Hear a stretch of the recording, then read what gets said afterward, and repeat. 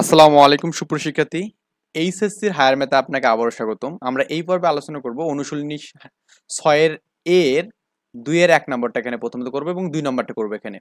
তো এখানে বলা আছে X square equal to minus twelve Y, এই পরাবৃত্তের নিয়ামক রেখার সমীকরণ বের করতে বলছে এখানে। Dhaka board, Dinajpur board, Jessore board দুই হাজার আঠারো সালে আসছে ক নম্বরে, দুই মার্কের জন্য এখানে, ওকে? সো আমাদের এই বিষয়গুলো কিন্তু ভালো করে শিখতে হবে এখানে। দেওয়া আছে এখানে কি? X square is to minus twelve আছে এখানে।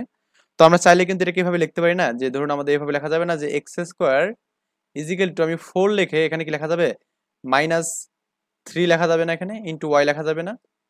মানে এর মানটা আমাদের এখানে নেগেটিভ এখানে। তো আমি এখানে একটা বিষয় বলে নিই, সেটা হচ্ছে কি আমাদের, আমি কিন্তু আপনাদের যখন বেসিক যে সূত্রটা পড়াইছিলাম বেসিক যখন ক্লাসটা নিয়েছিলাম, সেখানে বলছিলাম যে আমাদের প্লাসের জন্য এই পাশে হয় এখানে মানটা মাইনাসের জন্য আমাদের এই পাশে হয় এখানে ওকে এখন কথা হচ্ছে, আপনি যদি মাইনাস নিয়ে করেন, তাহলে আপনি এই চিত্র দিয়ে করবেন, সমস্যা নাই। কিন্তু আপনি যদি মানটাকে, এটাকে মাইনাস ধরেন এবং এটাকে যদি পজিটিভ নেন, তাহলে কিন্তু আমাদের এই সূত্র নিয়ে করতে হবে এই চিত্র নিয়ে করতে হবে এখানে। এবং এটা তো আমাদের এর জন্য না, আমাদের এখানে অ্যাকচুয়ালি এটার জন্য চিত্র হবে আমাদের এই যে উপরের দিকে এখানে, এটা এটা আর কি হবে এখানে। এবং নেগেটিভের জন্য আমাদের নিচের দিকে হবে এখানে। আমি কি বললাম, যদি আপনি এই মানটা মাইনাস নিয়ে যে করেন এখানে, তাহলে আপনার করতে হবে কি এখানে? এটা নিচের জন্য, এর জন্য আমাদের মান নিয়ে করতে হবে এখানে। মাইনাস নিয়ে যদি করেন এখানে ওকে মাইনাস নিয়ে করলে কি হবে এখানে? মানটা নিচের জন্য করবেন এবং তখন এর মানটা কিন্তু আমাদের কি হচ্ছে না এখানে বলুন তো? তখন আমাদের মাইনাস নিয়ে করলে কি হবে? X square is equal to minus four into A মানে কত এখানে? Three plus three into Y এখানে। এটা লেখা যাবে। তখন এর মানটা কিন্তু পজিটিভ হচ্ছে। ওকে? যখন আপনি নিচের দিয়ে মানে দুটো বিষয় একই বিষয় এখানে। আর আপনি যখন এখানে মানটাকে এটাকে নেগেটিভ নেবেন, তখন কিন্তু আপনার এটা অটোমেটিকলি আমাদের এটা কিন্তু মানে পজিটিভ উপরের দিকের মানটাকে ইনসার্ট করতেছে এখানে বা উপরের দিকের মানটাকে বুঝাচ্ছে এখানে। ওকে? তো এই জন্য আমরা করব কি অল টাইম এখানে একটা অ্যাপ্রোচ করব। কারণ দুটো অ্যাপ্রোচ করতে গেলে মাথা গুলে যাবে এখানে আমাদের। আমরা যেহেতু ছোট মানুষ, আমরা একটু ছোট ছোট ভাবে একটু করার ট্রাই করব এখানে। তো আমরা করলাম কি এখানে? এটাকে এই- সমীকরণ দিয়ে আখ্যায়িত করলাম। এটা কেমন কেন হয়? কারণ এটা হচ্ছে ওয়াই অক্ষ, এটা হচ্ছে এক্স অক্ষ এখানে। তো বলছিলাম যে যেটা সবার লাস্টে থাকে সেটাকে আমরা কি বলি? এটা ওই দিকে আমাদের কি যায়? পরাবৃত্তটা হয় এখানে। তার মানে এটা এই দিকে গেল এখানে। এখন এটাকে আমি এক নম্বর ইকুয়েশন দিয়ে রাখলাম এখানে ওকে কি দিলাম এখানে? এক নম্বর ইকুয়েশন দিলাম এখানে। তো লিখব যে এক নং সমীকরণকে, এক নং সমীকরণকে সমীকরণকে X square equal to four A Y এর সাথে তুলনা করি এখানে, এর সাথে তুলনা করে পাই, করে। এর সাথে আমাদের তুলনা করলে আমাদের কিন্তু এর মান কত হচ্ছে বলুন তো এখানে? এর মান হচ্ছে আমাদের এখানে, অতএব এ ইকুয়াল টু মাইনাস তিন পাচ্ছি এখানে ওকে আর যদি আপনি মাইনাস নিয়ে কাজটা করেন মাইনাসের জন্য সূত্র করেন, তাহলে এর মান প্লাস তিন হবে এখানে। আই থিঙ্ক বুঝতে পারছি ব্যাপারটা এখন। আমাদের এখানে বলছে এখানে নিয়ামক রেখা সমীকরণ বের করতে বলছে এখানে। তো আমরা জানি নিয়ামক রেখার সমীকরণ কত হবে এখানে? অতএব দেখব যে নিয়ামক রেখার সমীকরণ, নিয়ামক রেখার সমীকরণ এখানে। রেখার সমীকরণ, দেখুন তো আমাদের এখানে নিয়ামক রেখা কোনটা? এই যে এটা হচ্ছে আমাদের নিয়ামক রেখা। এটা হচ্ছে আমাদের এম জে দেই, এটাকে আমি জেড দেই। এম ড্যাশ করলাম এখানে অ্যান্ড এটা কিন্তু আমাদের শীর্ষবিন্দু এখানে, আর এটা উপকেন্দ্র এখানে থাকবে। তো নিয়ামক রেখা কিন্তু আমাদের এখানে ওয়াই অক্ষের নেগেটিভ দিকে এখানে আছে, তাই না? তা লেখা যাবে Y equal to minus A Y equal to লেখা যাবে মাইনাস এ লেখা যাবে এখানে। তো Y equal to minus A বলতে থ্রি আর কি এখানে মানটা। তো লেখা যাবে এখানে Y is equal to minus minus three তার মানে Y is equal to three এখানে, তা বা লেখা যাবে যে Y is equal to minus three equal to zero মানে Y minus three equal to zero লেখা যাবে এখানে। তো এটাই কিন্তু আমাদের এখানে অ্যান্সার এখানে, এই কোশ্চেনের জন্য। আই থিঙ্ক এটা বুঝতে পারছি আমি বিষয়টা। এরপরে আমাদের যেটা বলছে দুই নম্বর, একটু ম্যাথটা আমাদের পড়তে হবে এখানে হ্যাঁ? এখানে বলছে ওয়াই এখানে দেখুন আমাদের রাজশাহী বোর্ড দিনাজপুর বোর্ড দিনাজপুর বোর্ডে কতবার আসছে এখানে? ষোলো, চোদ্দ, নয়। সিলেট বোর্ডে আসছে, বরিশাল বোর্ডে আসছে এখানে তিনবার। যশোর বোর্ডে আসছে, মাদ্রাসা বোর্ডে আসছে এখানে দুইবার। সো ম্যাথটা আমাদের একটু ইজি একটু ভালো করে একটু খেয়াল করতে হবে এখানে ম্যাথটার জন্য। এখানে আমাদের দুই নম্বর ম্যাথ আমার দুইয়ের দুই নম্বর ম্যাথটা করতেছি এখানে। আচ্ছা এটা দুই নম্বর ম্যাথ কি দেওয়া আছে এখানে?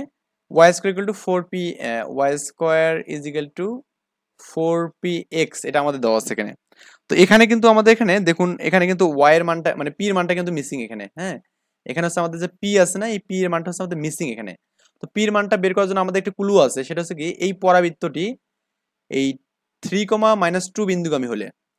তো আমাদের কি বলছে এখানে? দেখুন, একটা আমাদের বিষয় বলে দিচ্ছে, সেটা হচ্ছে আমাদের থ্রি কমা মাইনাস টু বিন্দুগামী হলে মানে এখানে এক্সের মান তিন ওয়াই এর মান হচ্ছে মাইনাস টু হলে তার উপকেন্দ্র, উপকেন্দ্রিক লম্বের দৈর্ঘ্য এবং নিয়ামক রেখার সমীকরণ বের করতে বলছে এখানে। খুবই ইম্পর্টেন্ট একটা কোশ্চেন এবং খুবই ইজি একটা কোশ্চেন এখানে। ওকে তো আমরা এখানে করব কি?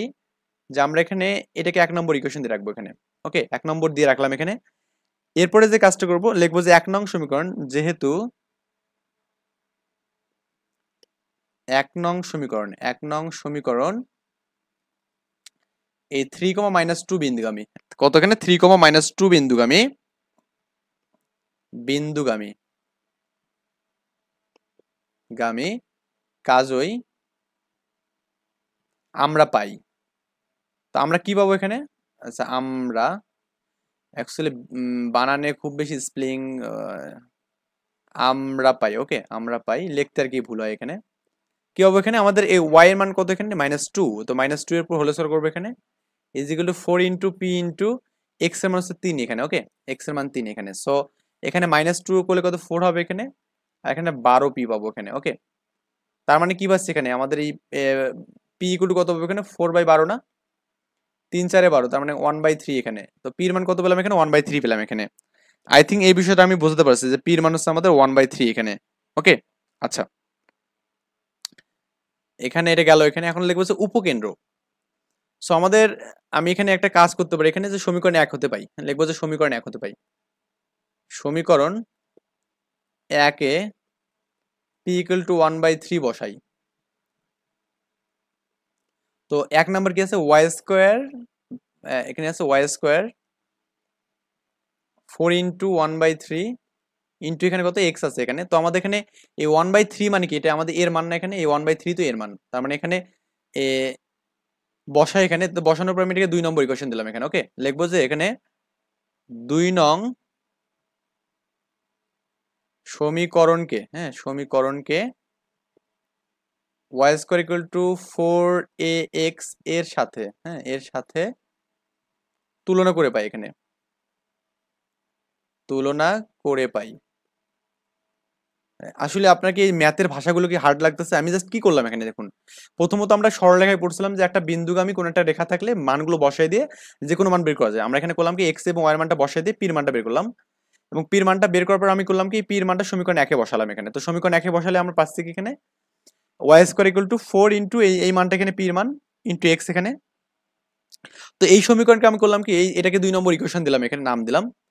তো এই দুই নং সমীকরণকে আমরা করলাম কি? Y square equal to four এক্সের সাথে তুলনা করলাম এখানে। তাহলে লেখা যাবে এখানে, অতএব এ ইকুয়াল টু কত পাবো এখানে? ওয়ান বাই থ্রি পাবো এখানে। তো এ এর মানটা বের করার জন্য জাস্ট আমাদের এই কথাটা একটু লিখতে হবে এখানে ওকে আচ্ছা এখন আমরা এখানে জাস্ট বের করব উপকেন্দ্র। তো আমরা এখানে যে সমীকরণটা পেলাম, সেটা কি সমীকরণ এখানে? Y square is equal to four X তার মানে Y square equal to four X মানে আমাদের এই যে, এই এই অক্ষ বরাবর থাকবে এখানে রেখাটা। আই থিঙ্ক বুঝতে পারছি। কারণ কি? কারণ আমাদের এখানে এক্স আছে মানে কি? এক্স অক্ষের দিকে মুখ পড়ে থাকবে। আর এখানে আমাদের উপকেন্দ্র কত এখানে? এ কমা জিরো না? কারণ আমরা এক্স অক্ষের উপর কি? ওয়াই এর মান শূন্য এখানে। তার মানে এ কমা জিরো হবে এখানে। তো লিখব যে এখানে অতএব উপকেন্দ্র উপকেন্দ্র এ কমা জিরো এখানে। ওকে তো এ কমা জিরো মানে কি এখানে? এ মানে কত এখানে? এ মানে one by three one by three comma এখানে জিরো পেলাম এখানে। ওকে এটা হচ্ছে আমাদের উপকেন্দ্র গেল এখানে। এরপর বলছে আমাদের উপকেন্দ্রিক লম্বের দৈর্ঘ্য এখানে। ওকে তো লিখব যে উপকেন্দ্রিক লম্বের দৈর্ঘ্য উপ কেন্দ্রিক লম্বের দৈর্ঘ্য কত এখানে? ফোর এ তাই না? তো ফোর ইন্টু এ মানে কত? ওয়ান বাই থ্রি মানে কত? Three by four by three হবে এখানে। এটা হচ্ছে আমাদের উপকেন্দ্রিক লম্বের দৈর্ঘ্য পাবো এখানে। নিয়ামক রেখার সমীকরণ লাস্ট ওয়ান কি আছে এখানে? নিয়ামক রেখার সমীকরণ। নিয়ামক রেখার সমীকরণ। রেখার সমীকরণ। তো এখন দেখুন তো আমাদের এই সমীকরণের যে নিয়ামক রেখা কোনটা এখানে? যেটা আর কি। এটা হচ্ছে আমাদের এম এম ড্যাশ নিয়ামক রেখা। এটা আমাদের ওয়াই ওয়াই ড্যাশ এখানে। এটা হচ্ছে আমাদের এক্স এক্স ড্যাশ এখানে ওকে সো আমাদের নিয়ামক রেখা কিন্তু আমাদের এক্স অক্ষ বরাবর নেগেটিভ দিকে যাচ্ছে। তার মানে এক্স ইকুয়াল টু মাইনাস হুম, কি লেখা যাবে এখানে? এক্স ইজ ইকুয়াল টু কি এখানে? মাইনাস এখানে। বা X is equal to minus one by three এখানে। সো আমাদের এখানে কি হবে? এখানে X plus one by three equal zero হবে এখানে। দ্যাটস ওয়াই এখানে আমাদের তিন যে লসগু যায় এখানে, তার মানে থ্রি এক্স প্লাস ওয়ান হবে এখানে ইজ ইকুয়াল টু জিরো বা এখানে তিন ভাগ হয়ে গেলে শূন্য হবে মানে three X plus one equal to zero হবে এখানে। তো এটা হচ্ছে আমাদের নিয়ামক রেখার সমীকরণ এখানে। আই থিঙ্ক ব্যাপারটা বোঝাতে পারছি এখানে। আমি করব কি? নেক্সট টিউটোরিয়ালে আমাদের তিনের যে ম্যাথগুলো আছে এখানে, এই ম্যাথগুলো সবগুলো করার ট্রাই করব ইনশাল্লাহ। এই পর্যন্ত ভালো থাকবেন, সুস্থ থাকবেন, আল্লাহ হাফেজ, আসসালামু আলাইকুম।